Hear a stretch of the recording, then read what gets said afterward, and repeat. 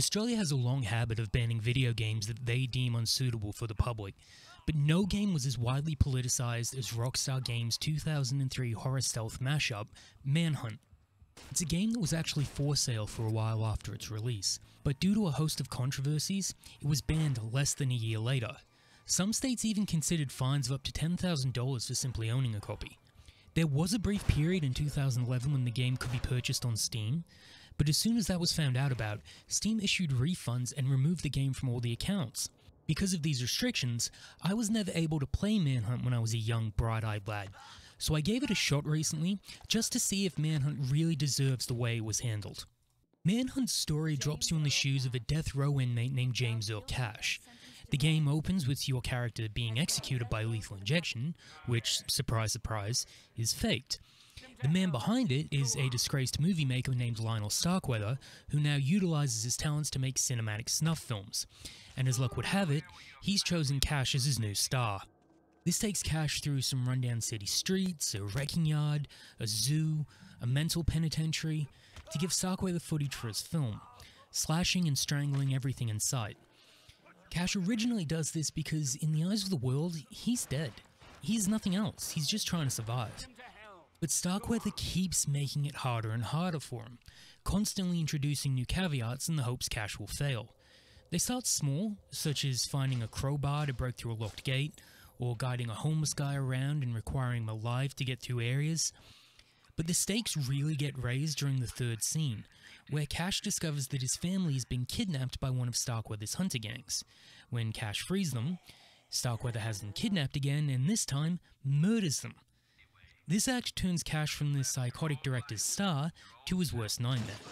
After escaping a setup in the asylum and killing Starkweather's head flunky, Cash briefly teams up with a journalist hell-bent on bringing down the film ring.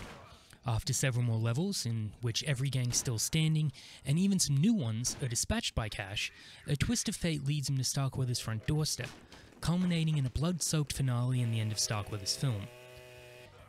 Manhunt's story played out how I expected it to. There were a couple of twists that caught me off guard, but for the most part I found it to be paint by numbers. It was told well though. The subplot with the Carcer City journalist really answered any questions I had about the world, and admittedly, while the climax left me a bit unsatisfied, it did tie everything together nicely enough that I was content with it.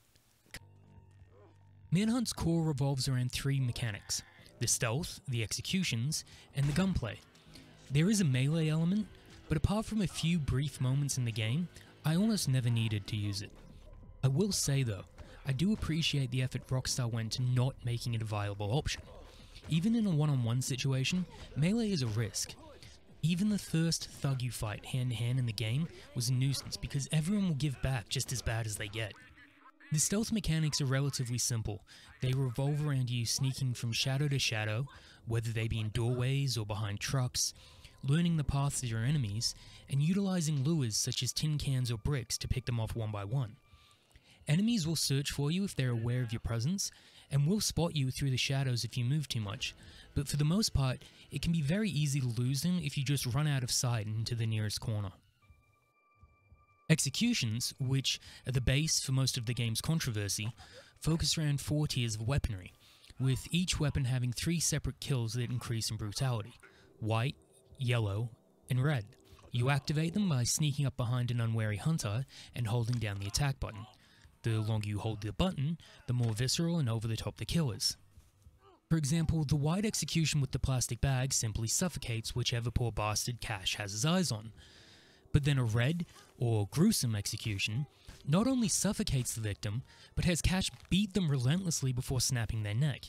Some of these kills get pretty visceral, and admittedly, a few made me a tad uncomfortable. You'll also notice that in these kill shots, the camera angles change and are highlighted by this gritty old VHS filter, as if it's being filmed by someone standing right next to you. It's one of those little things that adds so much to the atmosphere that you can't help but appreciate.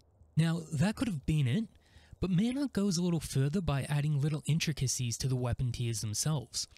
Green weapons like the glass shard or the garrote are completely silent, but they're also only one use, so it's best to keep these for the areas where lots of enemies roam in close quarters. Blue weapons are the most unique tier. They make sound when used in executions, but they also don't get removed from your inventory. The most interesting thing about this tier though is that certain blue weapons can be used to affect the environment. Crowbars, for example, are needed to break the chains on certain gates, and a couple of times it requires you to go off the main path to find one.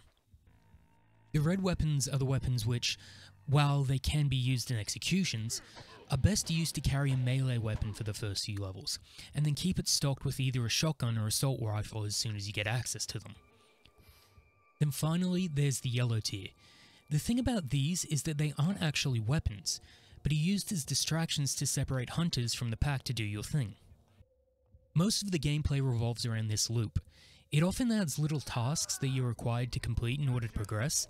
These can range from finding items to unlock gates, guiding certain NPCs through hunter-ridden areas, or using specific tools to get kills for Starkweather. Rockstar's gameplay design shines here because they always seem to come up just when the regular gameplay loop begins to stale. Then there's the gunplay. Now, the shooting segments are really my biggest gripe with Manhunt. Because the game's mechanics revolve around the stealth punishing you for doing it poorly, guns in Manhunt do a lot of damage. Later on in the game, SWAT officers carry a little SMG that will rip through you instantly if you're even slightly out of cover. But even earlier in the game, when you come across scores of hunters carrying revolvers and sawn off shotguns, you can go down very quick if you don't play safe. I died more times on these levels than in any other in the game, simply due to how much you're punished for inaccuracy. One missed shot can be the decider on whether or not you move forward or restart the level. Now, I'm a fan of making games harder on the player because I feel that it just increases the satisfaction when you succeed, but in Manhunt, the shooting segments are just tedious and unenjoyable.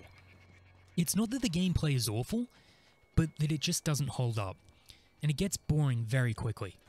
Not only that, but at certain points, like in one of the penitentiary levels, you can easily just sprint through, shooting enemies if your aim is good enough, and eliminate any tension or challenge. I'm going to be honest here, most of the second act can be dealt with this way, and Manhunt falls apart because of it. I stopped enjoying this game from this point until the second last scene, simply because of this design choice, and if I wasn't so enamored with everything else in Manhunt, I might not have finished it. But even with that negative out of the way, there is still so much to love about Manhunt.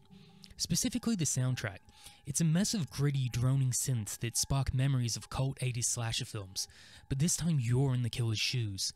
It builds very slowly as you stalk your prey throughout the levels, accompanied by your own heartbeats that strike tension in such a powerful way that I'd be lying if I said I didn't find myself shaking a little bit. The levels themselves only add to this. There are nearly 20 in Manhunt, with an array of environments ranging from simple city streets to mental asylums, wrecking yards strewn with debris, even a rundown zoo. Each level is completely abandoned apart from the hunter gangs that roam there, and while this is probably due to the technological limitations of the era, it works, drastically increasing the sense of isolation, that you're really all alone in this fight. The hunters, which range from your everyday street thug to corrupt police officers, satanic serial killers to professional mercenaries, are just as versatile as the levels. It's not just in how they're visually designed, but in their dialogue and how they approach fights. The Skins, for example, a white supremacist gang that roams the wrecking yard, spout off in racist tirades as they hunt you. Whereas the Smileys, escaped mental patients at the penitentiary, ramble on mindlessly. One, two, buckle fuck you, three, four, kadaba whore. Every gang in Manhunt feels so starkly different that you feel differently about them. They aren't just decorations either. Each gang has a purpose in the story, and it really helps develop how much satisfaction you get from dispatching each one. Bosses themselves are really the most interesting of enemy designs, because I feel some of them are kind of a letdown. Ramirez, for example, is Starkweather's head boy, but he's dealt with rather easily several levels before the end of the game, in a pretty generic shootout.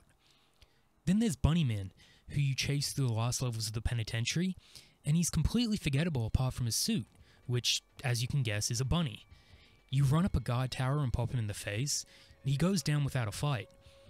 Now this might have been a design choice to show how much cash is a force of nature now, but it's really underwhelming. Even Starkweather himself is a rather simple fight, taking only a few moments to deal with. The only standout when it comes to the bosses is what many consider Manhunt's most memorable character, Pigsy.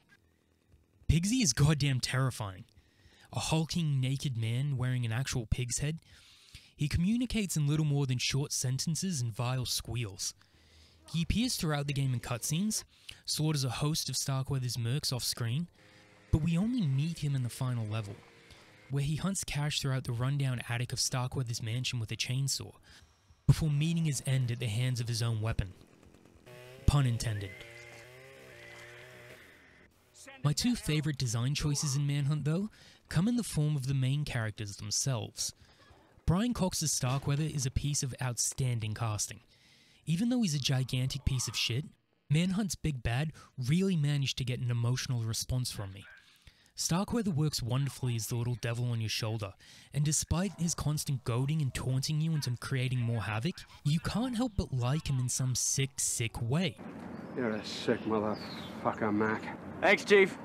As for the main character, Cash, he doesn't speak too much throughout the game. In fact, Starkweather has most of the dialogue.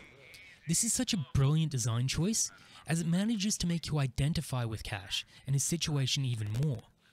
You have to put yourself in his shoes when the character is somewhat of a blank slate as Cash's, and it develops this idea that you yourself are experiencing the horror yourself, which only invests you more into the game, which, in turn, leaves a stronger impression on you when all is said and done. All in all, it's not hard to see why Manhunt has its controversies, even if it is somewhat tame compared to some movies or even what we have now in video games. Manhunt makes you take part in some incredibly visceral acts of violence, with some of the most graphic visuals of the time, in a story where the intention is to make a movie that glorifies murder.